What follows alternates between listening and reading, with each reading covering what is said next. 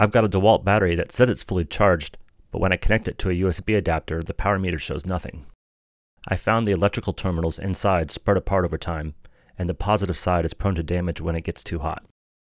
This battery is missing a little prong on the bottom left. So I cut a piece of copper and bent it into a V shape, then slid it into the busted terminal.